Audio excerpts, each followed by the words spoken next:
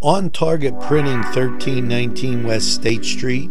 No job is too big or too small. Turnaround on most jobs, 24 hours. We make you look good on paper.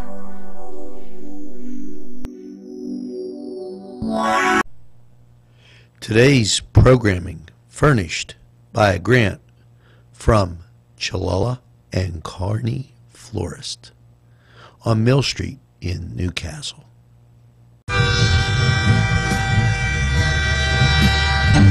NCTV 45, The Train, anytime on your time.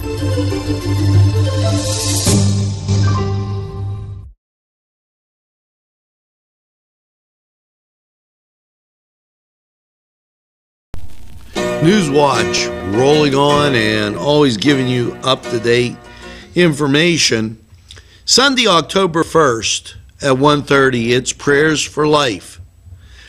Uh, these prayers and this life chain will take place from 2 to 3.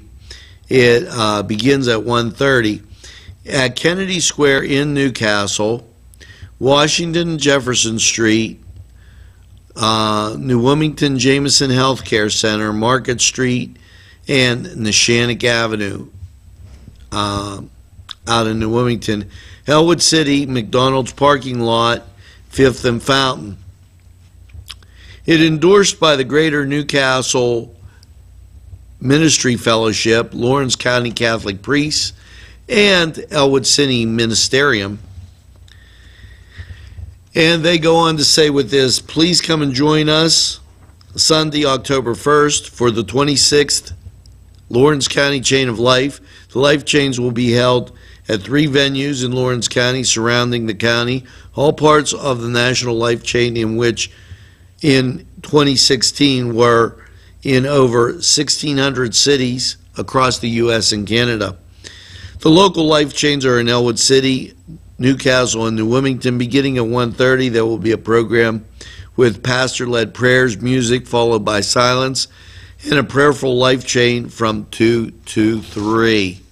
The life chain is a peaceful, silent witness of life. Participants stand on the side, walks, prayer, praying, and holding signs um, that read, Abortion kills children, God forgives and heals, abortion hurts women, Lord, forgive our nation, and adopt, adoption, the loving option. So um, make sure that um, you get out for that.